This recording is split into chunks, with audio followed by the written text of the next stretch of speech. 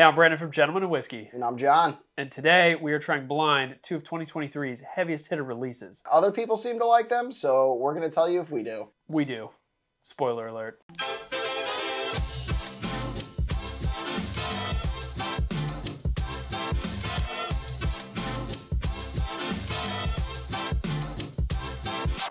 Okay, so uh, we've got the 13th Colony Double Oaked. Managed to get this on, I think, Seelbach's? No, it was Bourbon Outfitters. It was Bourbon Outfitters. It is a hefty $200 bottle, but it is pretty solid. It's crazy. Yep. And then we have Elijah Craig Barrel Proof C923. So that is one that I know a bunch of our friends have tagged us asking us when we're going to do ours. Yeah. So ours is now open, and it's been open for two, three weeks now. My personal one's open and down to there. If only you had a backup. I do. My wife has poured these. We've got them in the chocolate glens, in part because there is a humongous color difference between these. If we put these two beside each other in clear Yes. glens, Yep. it would probably be obvious which one is which. The 13th Colony Double Oaked is a very, very dark whiskey, and there's about a five proof point difference. This one, I think, is 138.6, 136.8. And sorry. this is 133.0. So 13 year old whiskey, and then who the hell knows? But it is double oaked and is full flavor. Dude, it's crazy. I mean, it's like what I immediately said was this is a Stagg killer. They say E ECBPs are Stagg killers. Mhm.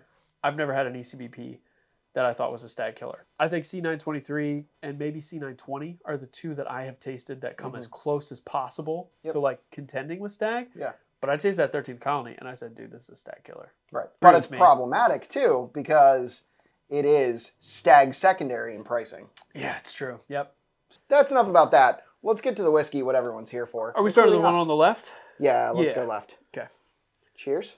Cheers, dude. Cheers, everybody. This is, you have one, right? I have one. Okay, Yeah, cool. this is number one. Made that mistake before. Oh, wow. Whew. God bless America, you know what I'm saying? I think I know what this is. I also think that I know. In my head, it's like I need to smell the other one. Get, am I allowed to smell the other one before we taste this one? Sure. Do I have to?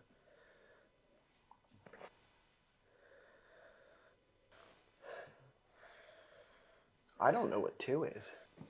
I'm pretty sure I know what one is.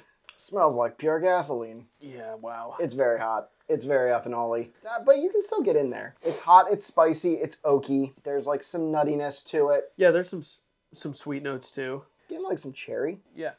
This video, I have to remind myself in my head, I'm always like trying to guess which one's which because I'm like, I'll be a better whiskey taster if I can guess. But like that really doesn't matter. It's just which one of these do I like more? All right, you want to taste this or what? Yeah.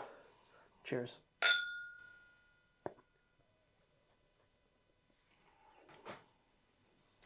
Oh, It's like cherry, hmm very sweet. Wow. sweet, dark chocolate, a lot of like oak, a lot of like tannic, astringent oak. Yeah, dude, uh, the mouth experience is like so full. Like the proof explodes. It's like a bang. Like you sip it and then it just like I'm a big fan of that. I can see where not everyone would like it because it is very hot. This is hot in all the right ways for me. If it were actually, I think, cut, that dark chocolate, like astringency would probably take over. I think it would get sour too. Yeah, I mean, okay, so if you're not a proof person, I'm not recommending E ECBPs or these 13th colony. If you're not someone who likes high proof, I'm not recommending Staggs. I'm not I'm not even recommending like wild turkey rare breed. If you're not into higher proof stuff, you know, like probably I think rare breed with an ice cube would be fine. okay, to be fair, rare breed is not, I don't think, comparable to these. My point is, Yeah. if you're not into high proof whiskey, nothing in this category is really like probably going to be up your alley. Probably. So not. don't spend hundreds of dollars Correct. on bottles like this. But people are excited about the age of this. So, Agreed. So, two. two. Smells like pure butter. It's like brown butter, like brown sugar syrup. Like I make these uh, bourbon pecans, brown butter, brown sugar bourbon pecans that are really good. Mhm. That's what this smells like. Like some sweetness and like tons of butter. Yeah. I get the sweetness, a little bit of nuttiness, a little bit of proof, but it's honestly, I think this one, I think number one is hotter on the nose than number two. Oh, for sure. But it, it's got it. Like if you breathe in real deep, like get really in the Glen, you can tell that it's Oh yeah, yeah. I'm at not least saying. I'm saying 133. Yeah, I'm not saying there isn't proof on it. I'm just saying of the two, one nose is higher. You ever have the blue pixie sticks? I mean, like probably when I was six. I get blue pixie sticks off this, like the Really? tropical fruit ones. There's just something on, especially like the end of the nose, that's like really fruity, like pineapple-y. Hmm. Like, Yeah, I get like the like like a fruitiness for sure. all right, time to try it. Yeah, dude, Cheers. I agree with that. Oh, whoa, Yeah, sweet. It's nutty though. yeah. Palate. Cherry and maple, like walnuts, probably. That drink's a lot hotter than it noses. The oak is there. Yep, Loads of cherry. dude, I'm still getting like flavor. It like pops on the back of your tongue Yeah, with like heat, Mhm. Like cinnamon red hot. it's like warm. Yeah, cinnamon warm, cinnamony, delicious. It's tasty. All right, back to one here. One now, there's like a lot more vanilla on the nose. I get sawdust. Mine's also gone. So R.I.P. yeah, One is way fruitier on the palate. Whoa. it is like a true cherry bomb. The only thing that I sometimes get like a more cherryish note on is like some Jack Daniels products. Mm. Like a little bit of like purple, like real sweet grapes. This drink's so hot. Number two. They both drink hot. They both drink hot, but like this one is like more balanced, maybe. Are you ready to make some determinations? Yeah. First question. Which one do I like better? Real tough. Because they're different. I think they're actually very close. Very flavor profile wise, they're both they both hit like the same main points. Like they're sweet, fruity, oaky. They're very similar on nose and palate, both of them. Also, I think it's to be said that the nose and palate on both of them is very identical. Between very the nose and palate. it's yes, consistent, it's consistent right? So between the the nose, nose- and palate. Yeah, dude, I agree with that 100%. I like two better a little bit. And I think it's literally the heat. Like it's more of a, it could be a mood thing. It could be a what I'm in the mood for. I like don't know. one better. You like and one it's better? not particularly close. One gives me Parker's Heritage Double Barrel vibes. Two gives me E ECBP yeah, A123. no, Yep. no. I think it's got like pr- I think it's the best of ECBP. Oh, full disclosure. I So we're think on the same page. We're on to the We're on same, the same page. guesses. I think one is 13th colony. I think Yep. two is ECBP. ECBP. Yeah. I think before we say anything more and make fools of ourselves, we should probably check what it is. Yeah, because we've been wrong before. We have been way wrong before. okay, so one is on the left, two is on the right, and one is 13th Colony, and two is ECBP. So Okay. nailed it. We did it. Woo! I think this is the best ECBP since C920. And I don't think it's particularly close. A123 or B523, or I really write off, honestly, any of the 21 and 22s. They are not good, in my opinion. This is the best that I've had any Elijah Craig barrel proof product. Interestingly, we did at 717, we did a blind Mhm. C920 and C923. Yep. and I helped Uncle Dave.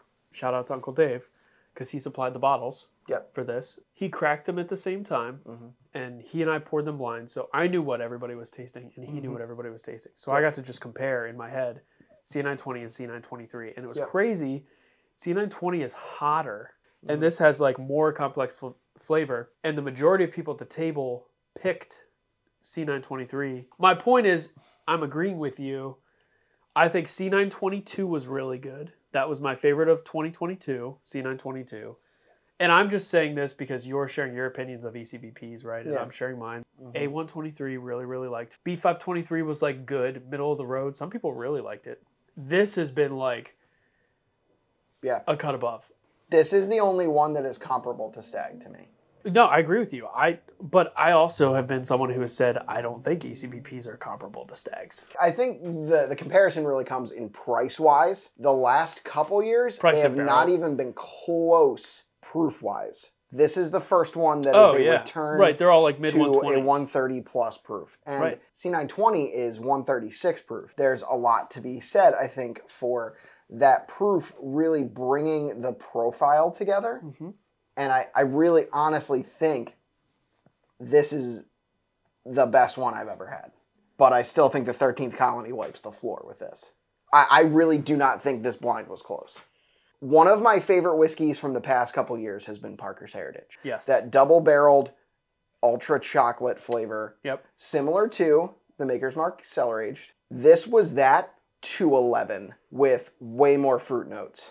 I like this more than the Parker's Heritage Double Barrel. Ooh. I think this is my whiskey of the year. I know that you said that, and so let's go back to I tasted it and was like, hey, I think this is a Stagg killer. I think when I drink these two side by side, like this one on the palate is more explosive. This drank more balanced.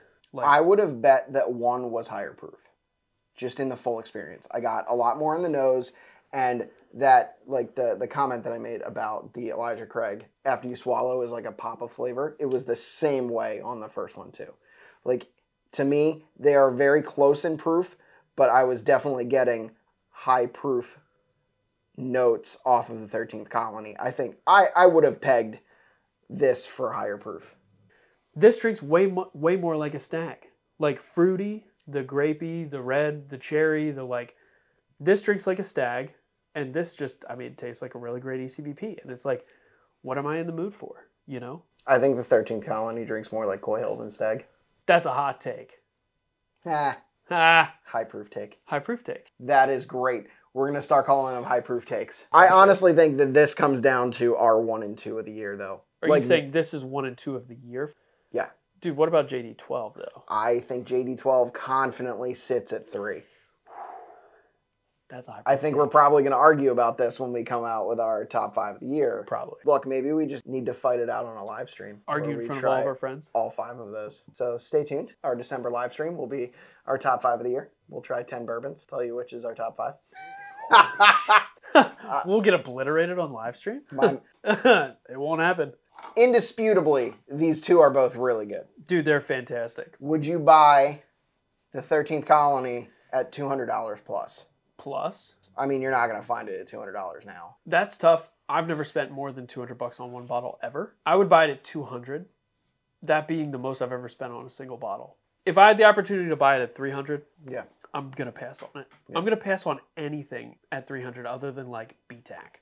I know people have said this is a BTAC competitor, and I don't know that I disagree. What are you buying it at? What's the max you're paying for a backup of 13th Colony? That's tough because stuff like this, I generally don't get a backup. Okay, but I'm saying like you love this bottle. I do love this bottle, And, like- but that's the thing. Like, I, I generally don't get backups of like Staggs. I don't get backups of well. Is that intentional? Or, yeah, because I I've had it. I would rather buy so something that I've never had than a backup of something. Really? Yes. What? Yeah. Are you serious? Yes. I mean, I would not pay 300 for another one of these.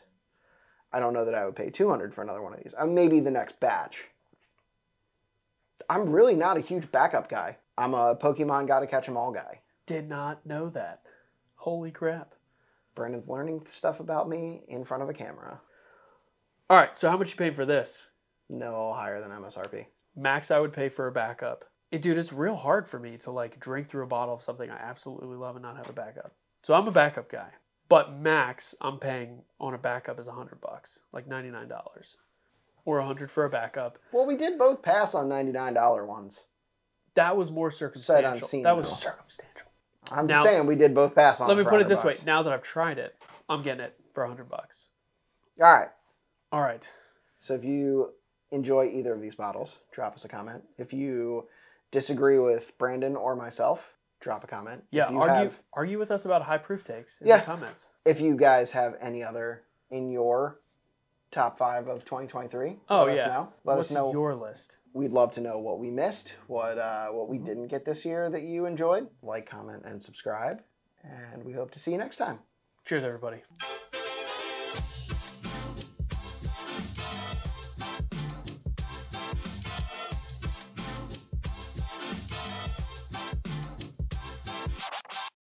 How do we want to intro this? How do we want to intro this, dude? Like, hey, I'm Brandon from Gentlemen Whiskey, Yep.